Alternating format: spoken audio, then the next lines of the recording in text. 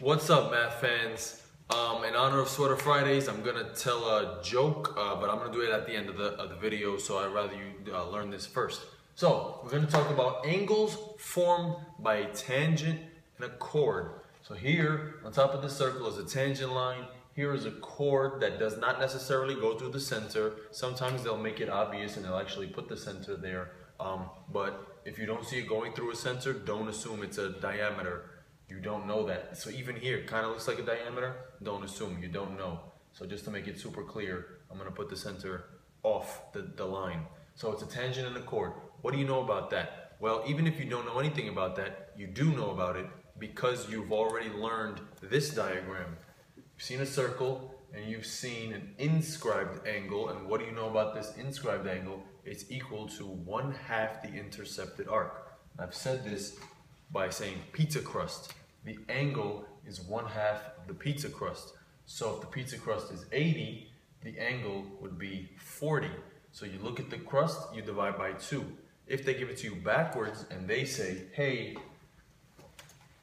my angle is, uh, I don't know, 50, then the opposite is true. This would be double, and I would say this is 100.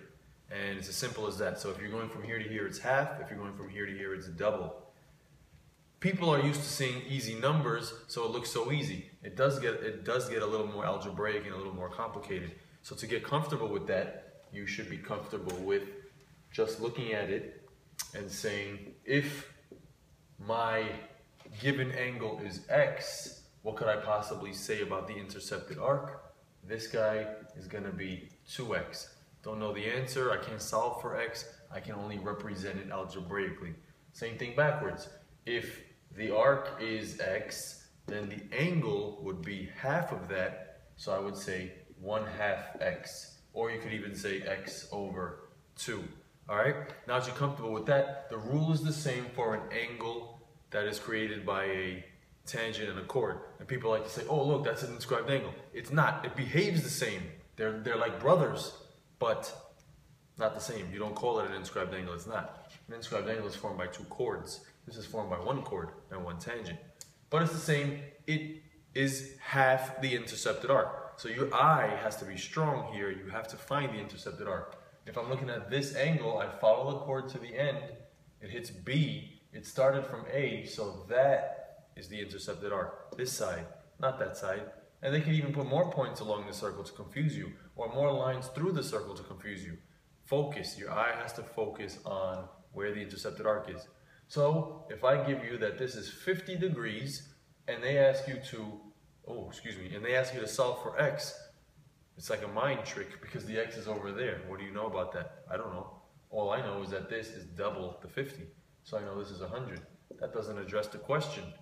I use my knowledge, I use what I know, now let's try to figure it out. I also know this is a full circle, so wouldn't x be, let me get this out of the way, 360 minus 100, which is 260. So there's a couple of things you have to put together in order to answer a question like this. I see the angle is half, so I know this arc is 100. I know the other side of the arc is 360 minus 100, x equals 260. Now, let's get crazy. This angle is given. So first I'm gonna instinctively look at the intercepted arc. This is double that. So this is, using what we learned from this video, is 2 times 16x plus 4.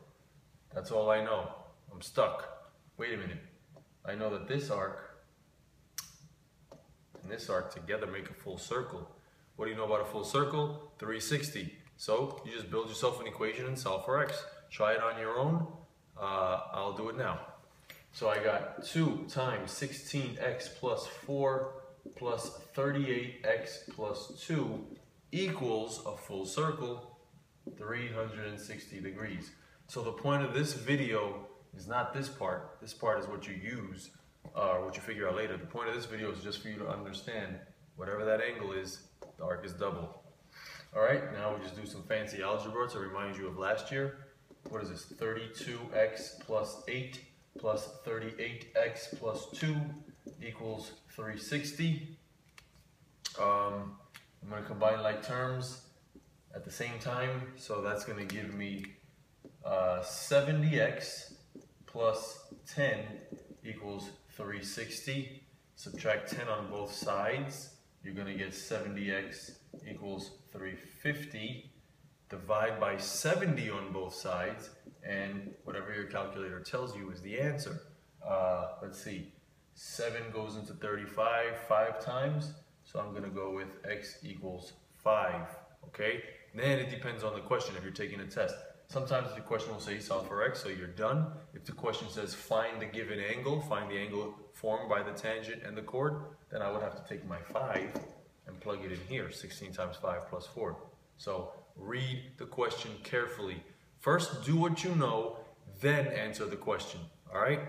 Um, so here's the joke. It's more of a social commentary, I think. Certain things bother students, so rather than cry about it, one of my students made a joke. Uh, we were watching this uh, comedian. Comedian was doing voices, a lot of imitation voices. So the kid goes, hey, I can do a voice too, or I can do an imitation too. He says, I'm gonna imitate my father. Watch.